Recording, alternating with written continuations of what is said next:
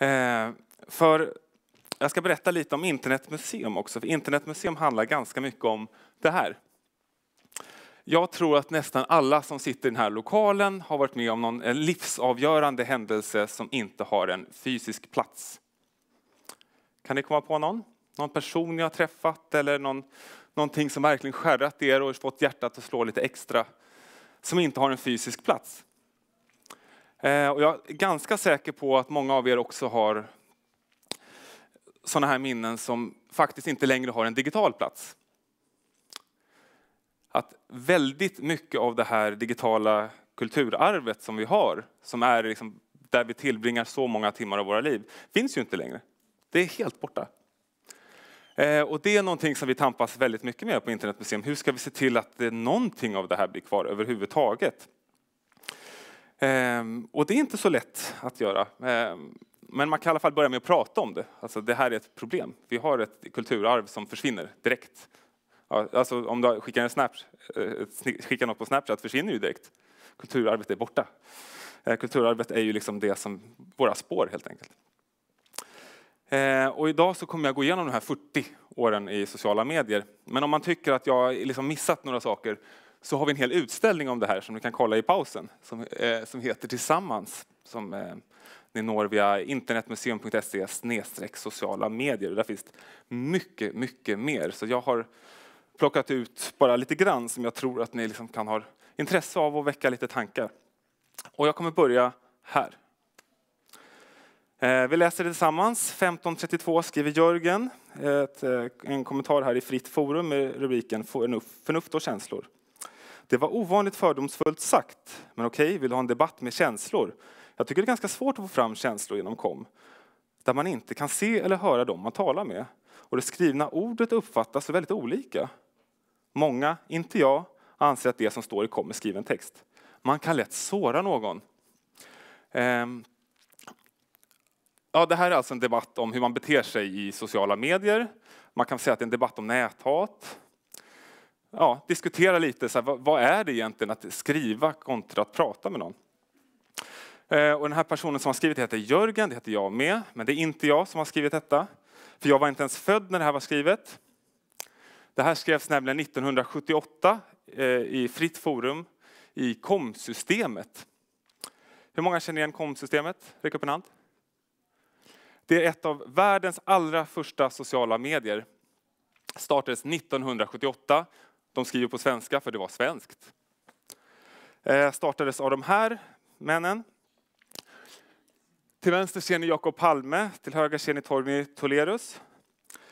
Eh, Jakob Palme sitter på en föreläsning i mitten av 70-talet där en amerikan visar det som kanske var världens första sociala medium, eh, Forum Planet. Och han har gått med sådana här tankar tidigare, men nu så finns det också ett behov. Han jobbar för Försvarets eh, forskningsanstalt. Och behovet är att deras verksamhet ska decentraliseras till massa olika orter i Sverige. Hur ska man lyckas kommunicera med varandra när man inte ens finns på samma plats? De ser det här Forum Planet, Jakob går till sin chef och säger vi, vi kör på det här och han får igenom det. Det är en jättesatsning, en stor miljonsatsning. Samtidigt i Uppsala sitter Torgny Tullerus och är anarkist eh, han, han, driver tidningen Anarkisten som är en tidning med insändare. Så vem som helst får skicka in insändare. Torgny samlar alltihop till en tidning och så skickar han ut det för massa orter i Sverige.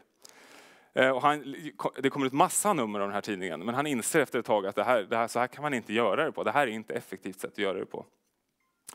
Eh, och via lite olika artiklar och sånt där så hittar de här två männen varandra. Torgny tar över det här Forum Planet-systemet, märker att det här är inte alls bra, så han skriver om det och skapar KOM-systemet som är alltså intern kommunikation för försvaret kan man säga, men som kommer vidgas med åren till att även innefatta den som känner sig berörd. Svenskt. Året efter kommer Usenet, det tror jag kanske fler känner till. Eh, har också lite samma behov. Det är två studenter på ett universitet i USA som vill prata med dem på grannuniversitetet men vet liksom inte hur man ska fixa det digitalt. Så man skapar det här systemet Usenet. Det finns mejllistor redan, eh, men de är ju lite mäckiga. Liksom. Så Usenet grupperar informationen istället.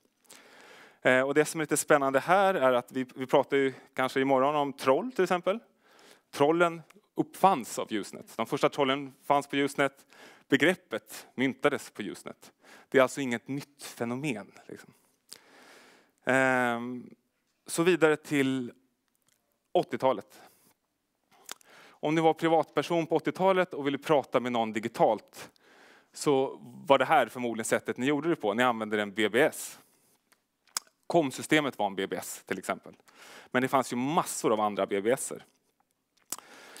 Eh, så vi tar, tittar här nu på eh, VABS lite längre ner. Det står så här, OBS, ring endast mellan 21.30 och 07.00. Varför var det så? Telefonen var upptagen de andra timmarna. Så ofta man ringde till en telefon, man, satt, man hade den här platsen och så skrev man lite och sen så la man på luren och då fick någon annan komma in.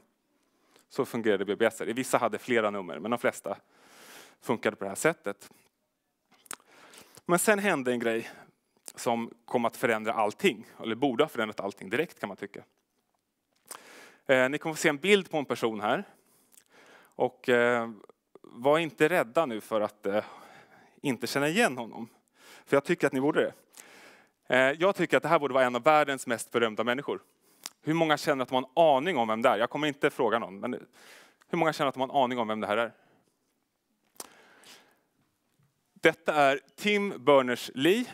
Lägg det här på minnet. Han är fysiker, han jobbar i CERN, han är britt och han uppfinner på egen hand World Wide Web. Ja, många uppfinningar, stora uppfinningar har ju liksom många olika uppfinnare, men eh, i fallet World Wide Web är det Tim helt enkelt. Ehm, och det tvistar, lite kuriosa här, att det tvistas lite om var webben uppfanns.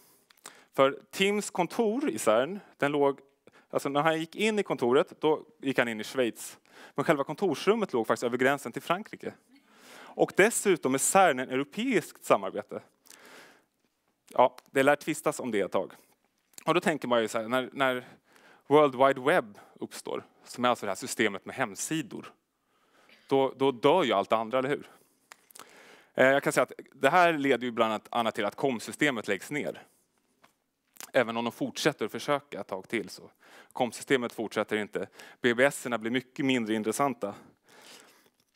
Men det, tre år senare kommer det här. Kommer ni ihåg tidningen OSA?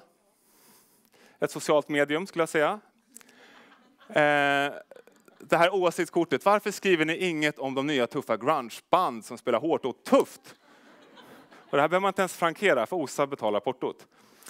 Eh, och har någon läst OSA? Ja, jag har. Superpopulär tidning på min högstadieskola.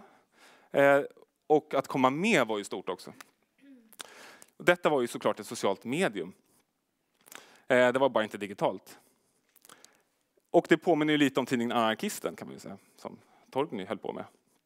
Eh, OSA startar alltså tre år efter att webben uppfinns, men kommer att lägga ner 99 på grund av internet.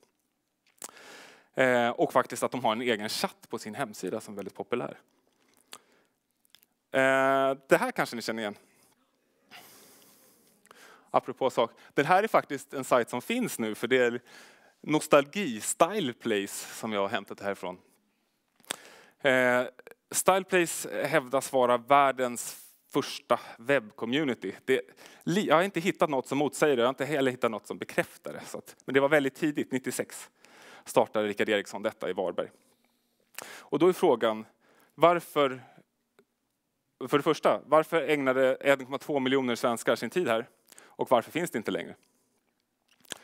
Eh, den ena frågan är, vid den här tiden är internet någonting läskigt. Det kanske ni kommer ihåg. Och på den här tiden så, man, man hänger ju inte i sociala medier för att träffa folk man redan känner. Det, varför skulle man göra det? De träffar man ju varje dag. Det här är ju till för att träffa folk du inte känner.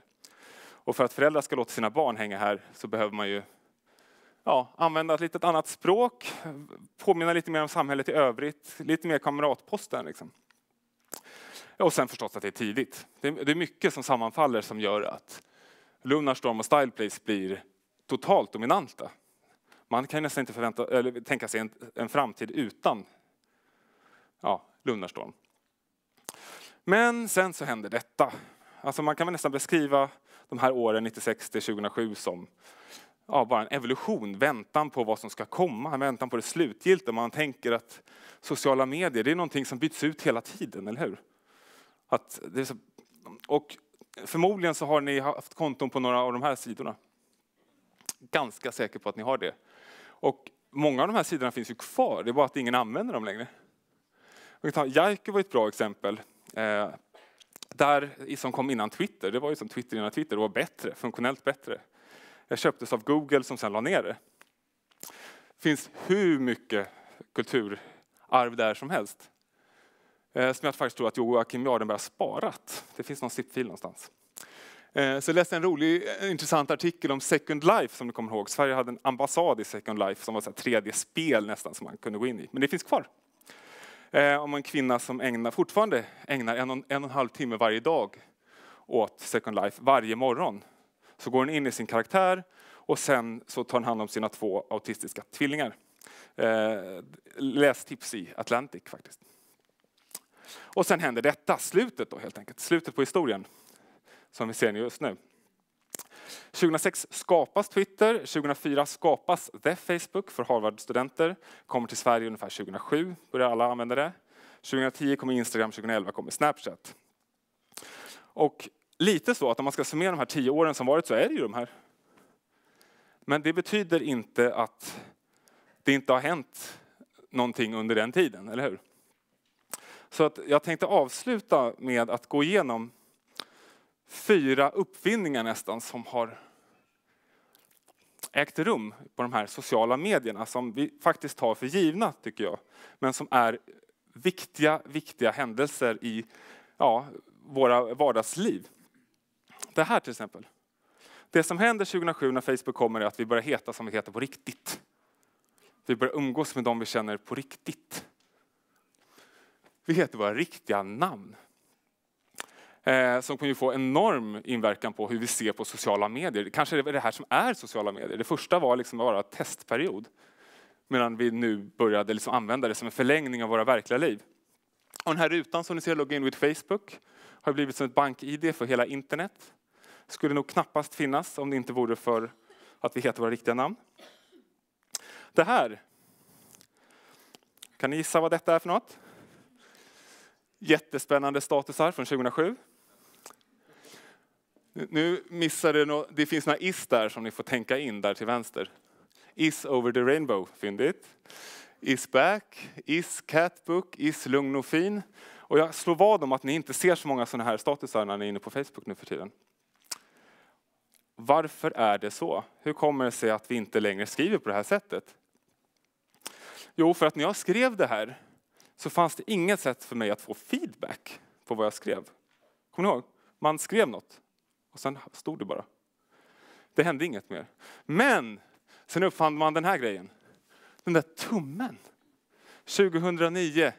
Så den uppfinns inte men den införs på Facebook 2009.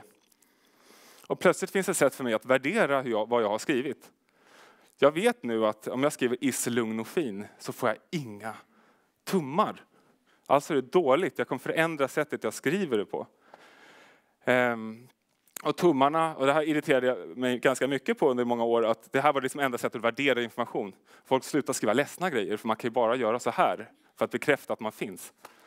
Så vi fick ju utökad repertoar förra året med de här här nere, som är en trevlig nymodighet tycker jag.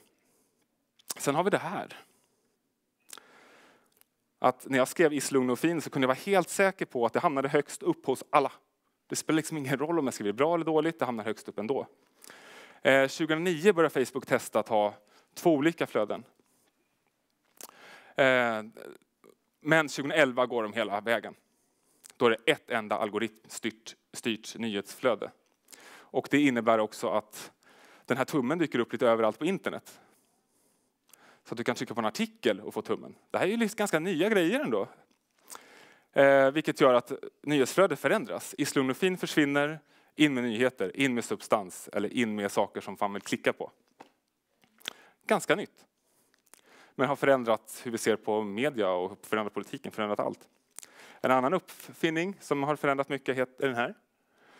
Eh, 2007 skriver en användare på Twitter, vore det inte kul om vi kunde gruppera den här informationen som vi har och som skriver om det här på något sätt. Jag föreslår att vi använder det här tecknet. Vi, vi, hashtags.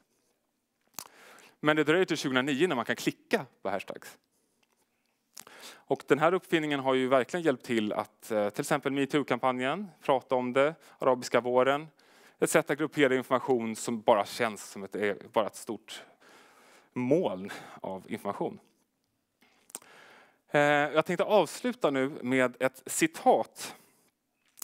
För jag träffade Torgny Tylerus, eh, som ni hörde från början här, som startade KOM-systemet. Så frågade jag honom vad han tyckte om det här, att allt det här har hänt.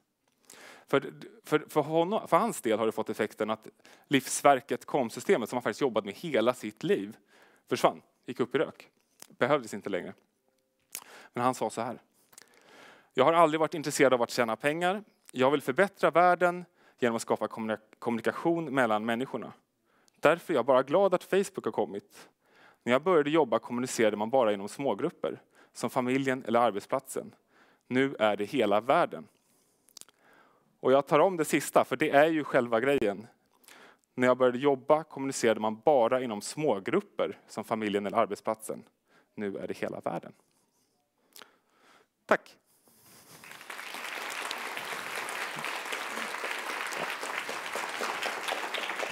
Tack Jörgen. Tack. Snabb fråga till dig mm. med tanke på att du har funnits med en del. Mm.